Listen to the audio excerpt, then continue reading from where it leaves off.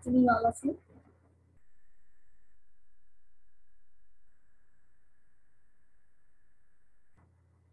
So today's topic will be on typhoid fever.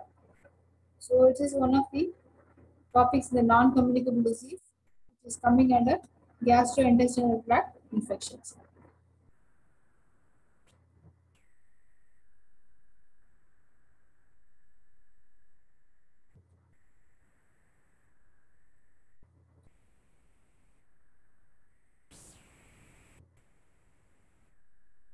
Okay.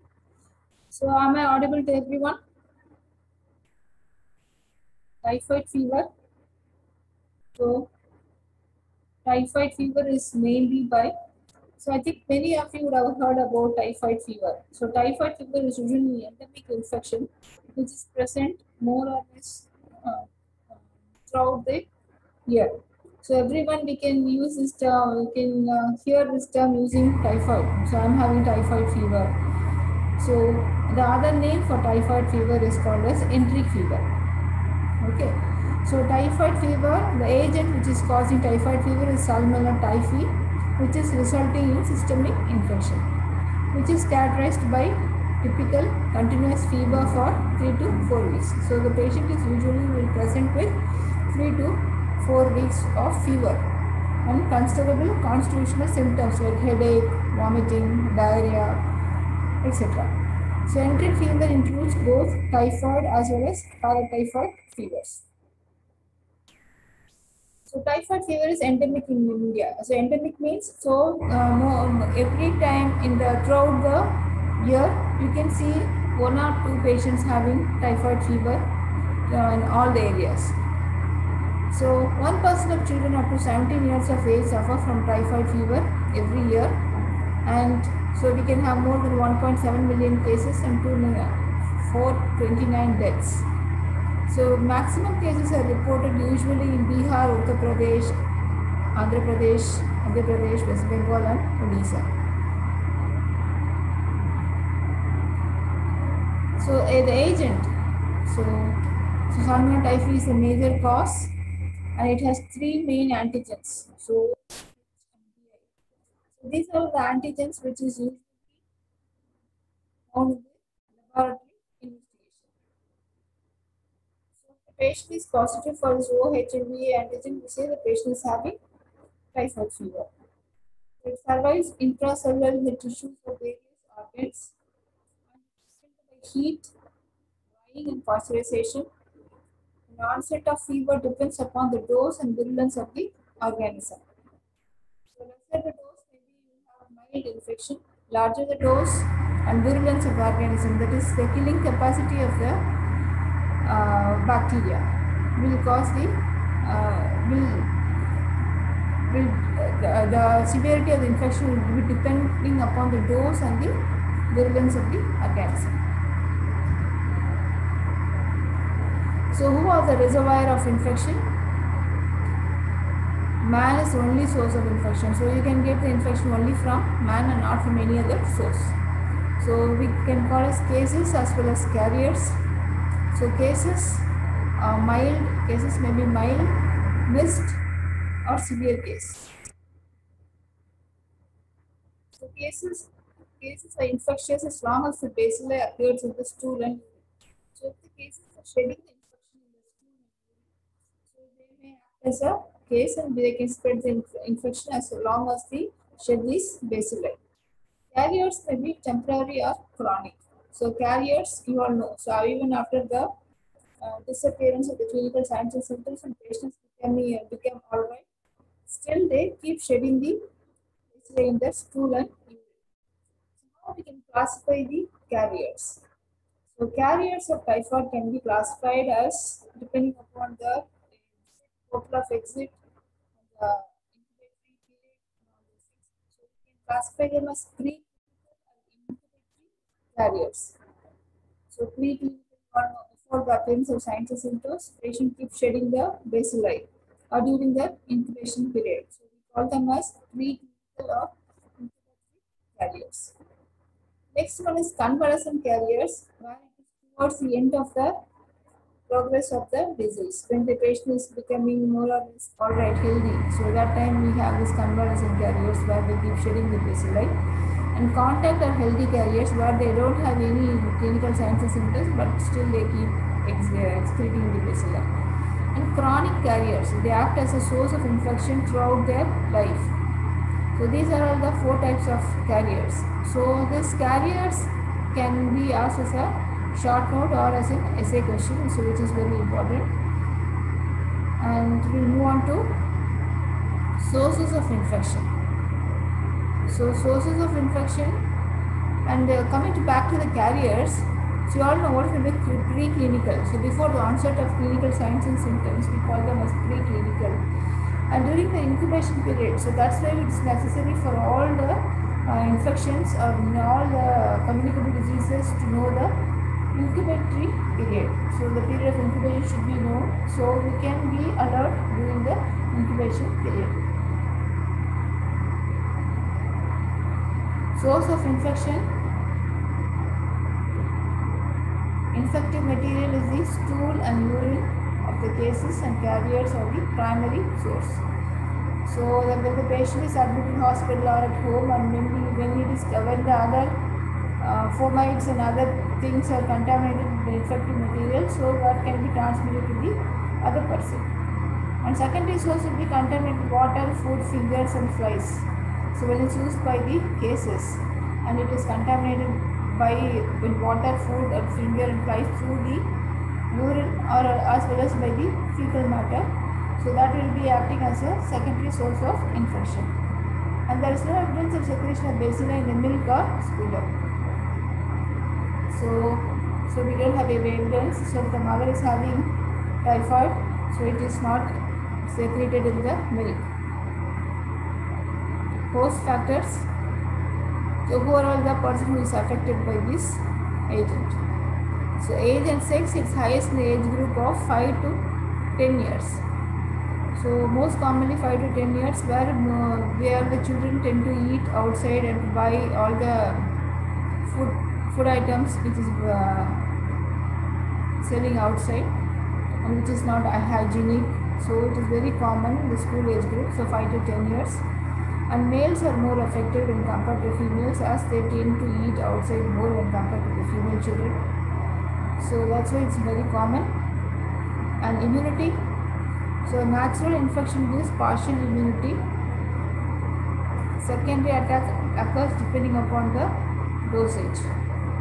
So cell-mediated immunity is responsible for the infection. So we have two antibodies which are produced. One is O and one is another one is H antigen. O antigen and H antigen. So what are the environmental factors which is causing for this infection? So poor environmental sanitation.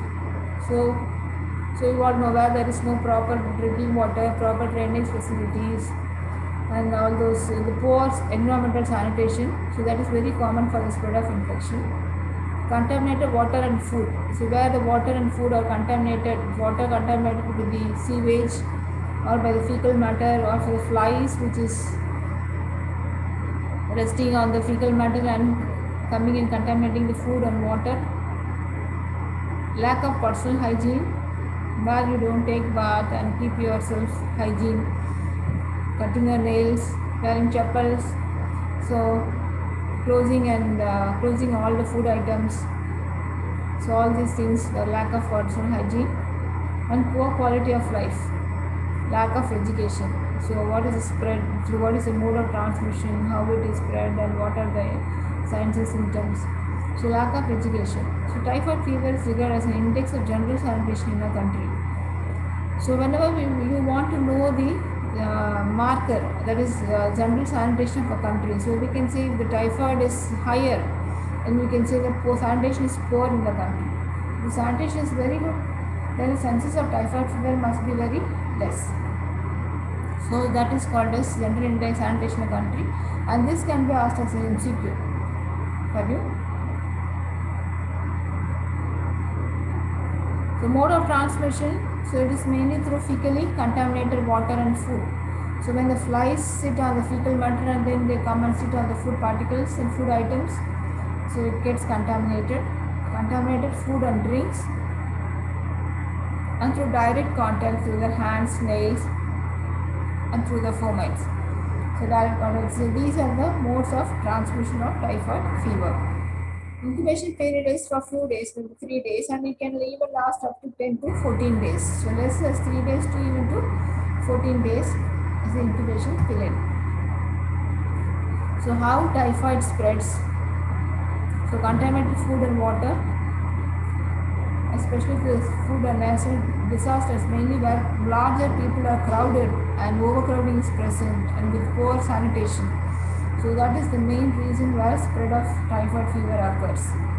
Food outlets that practice poor hygiene, where they don't close the food and keep, and where they you don't use proper uh, covering and proper um, water. And uh, the surrounding place is not clean and hygienic and the patient who's handling the food also should be hygienic maintain all the precautions.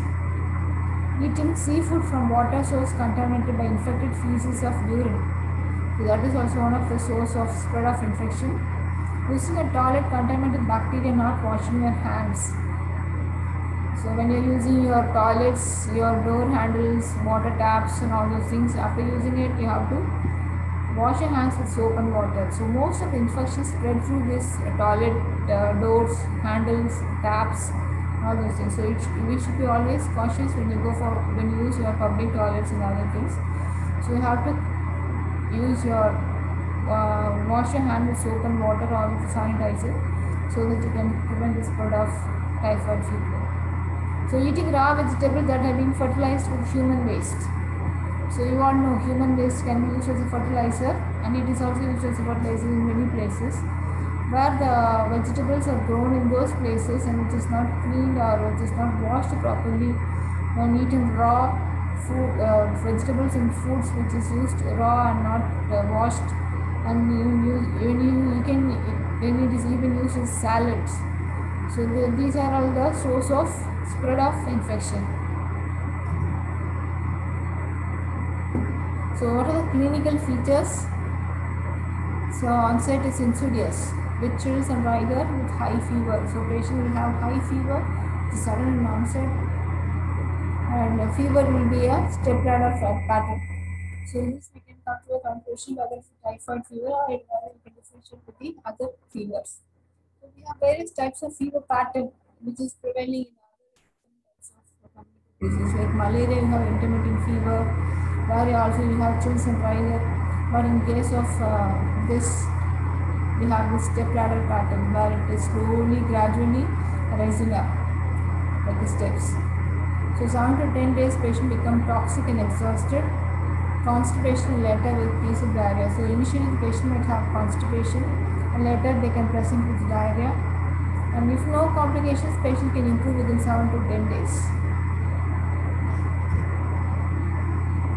So patient can have headache, fever, eye pain and they can have rashes over the bodies and muscle pain, joint pain, back pain. So these are all the signs and symptoms. Usually the patient person with may have having typhoid fever. So in early stages, physical findings like splenomegaly, abdominal distension and pain relative bradycardia, dicrotic pulse, rose spots in two weeks. So, so rashes may be present over the body which is called as rose spots. Which is also an MCQ. Okay. Okay, now complications occurs in 30% cases responsible for 75% of deaths. So what are the lab diagnosis you do? So lab diagnosis, so you do this microbiological procedures where you can identify the agent salmonella typhi in the stool or the urine. And serological procedure, do this Widal test with the development of ONH antibodies. So you do this Widal test to identify the presence of ONH antibodies. And we have other newer diagnostic tests like IDL tubex test, typhidot M test. So these are all the three types of other newer diagnostic tests where we can identify the presence of enteric fever. So control of typhoid fever, how you can control? So we have three modes of control of this fever. So one is control of reservoir, control of sanitation, immunization. So we'll see one by one. The control of reservoirs. Reservoir in the sense only the cases and the carriers and source of infection and not any other material, not many other uh, source of infection. So for the cases, what we can do? So we can diagnose as early as possible. So when the patient is coming with a fever and headache and vomiting and all those things, so you can initially ask them to go for the lab investigation and find out U1H antibodies so that you can diagnose easily and early as possible and give them proper treatment. A notification. So if you find many cases are in a particular area, coming from a particular area or a particular geographical area, so you can notify this to the health authority, nearby health authority and to find out what is the cause, cause and where, from where this infection is coming from. So find out the cause and notify the disease to the health authority. Isolation. Now you isolate those patients and put and hospitalize them in a proper ward, isolate them so that they can they are not contaminating with other patients and give them proper treatment. Disinfection. So disinfect all the soiled items and other things which they are handling so that it will not infect others and proper follow up. So these are the management of cases. And for the carriers, so you identify who are all the carriers. So you all know, you must be knowing the uh, main ca- carriers, which is example quoted in the microbiology book, typhoid Mary. So we should identify who are all the carriers. So patient is a ca- cases, they can act as a carrier later on. So identify the carriers, give them proper treatment, and if surgical intervention is needed, go for the surgery and surveillance and health education. So that if they are handling the food section or working in the, um, food vendor houses or restaurants, so proper screening should be done now and then and to see their hygienic conditions so that you can reduce the transmission of infection from one person to another. Control of sanitation. So protection and purification of drinking water.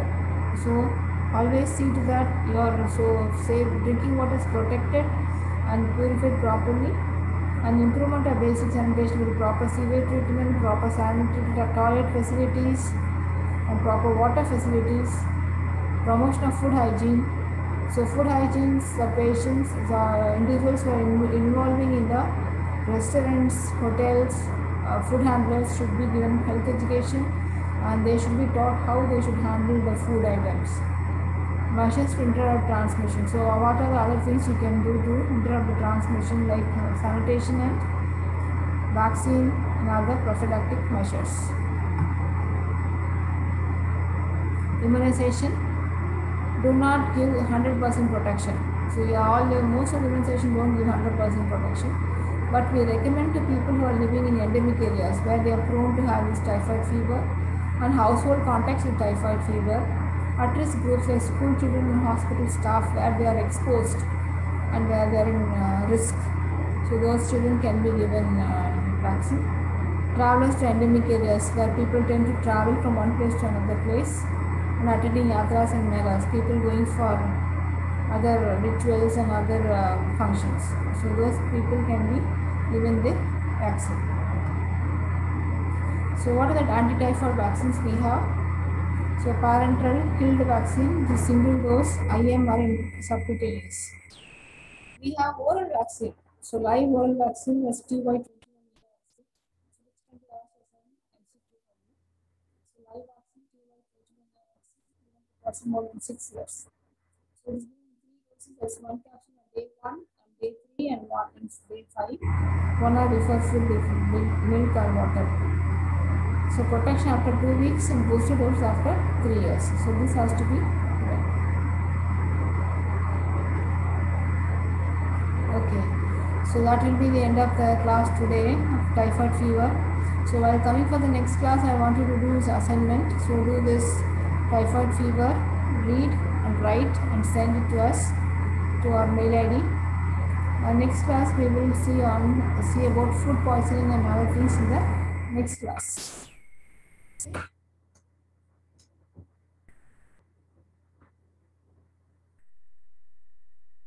else you want me to do it now? Food poisoning. So food poisoning is an acute gastroenteritis caused by ingestion of food or drink contaminated with either living bacteria or toxins or inorganic chemical substances and poisons derived from plants and animals. So it is an acute gastroenteritis by ingestion of food or drink. So not only contaminated with bacteria and virus but also by the toxins, other inorganic chemical substances which is present and the poison which is derived from the plants and animals. So these are all things which is uh, contributing to the food poisoning. So mainly occurs through ingestion of common food, attack of many persons at the same time. So we can find many people are coming from the same area with the, have, having eaten the same source of food. Similarity of signs and symptoms and all the people can have a same similar signs and symptoms. So types of food poisoning we have non-bacterial and bacterial food poisoning. So under bacterial food poisoning we have salmonella food poisoning, staphylococcal, botulism, Clostridium perfringens and Bacillus cereus. So these are all the bacterial food uh, food poisoning agents. Salmonella, so mainly the source from farm animals and poultry. Incubation period is very less, it's 12 to 24 hours within one, one day. Mechanism is mainly by ingestion, multiply. So when the bacteria is ingested, they multiply in the intestine, cause enteritis and colitis. Onset sudden, which is fever, nausea, vomiting, and profuse water diarrhea. And if the patient is not treated properly and not hydrated, then they can go for dehydration and may lose the patient. So case fatality rate is 1%. Staphylococcal, it's a staphylococcal aureus. It is the source is from main skin and throat of many animals. Incubation period is very less even to the previous ones, 1 to 6 hours and mainly because of the toxins which is present in the food item because of the bacteria. Botulism, it's exotoxin of Clostridium botulism type A, B and E. So organism distributed in the soil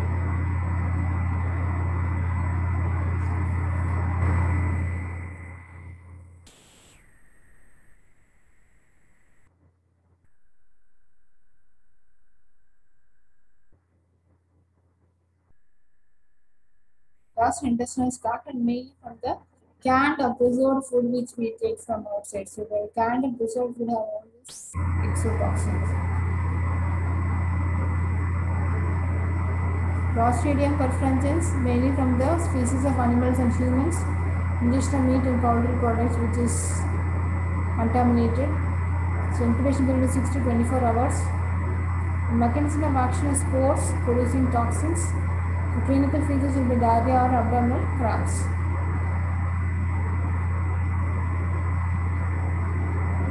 Help prevent food poisoning. So wash your hands before and after preparing food. Cook meat, poultry, fish and eggs thoroughly. Wash fruits, vegetables well before eating.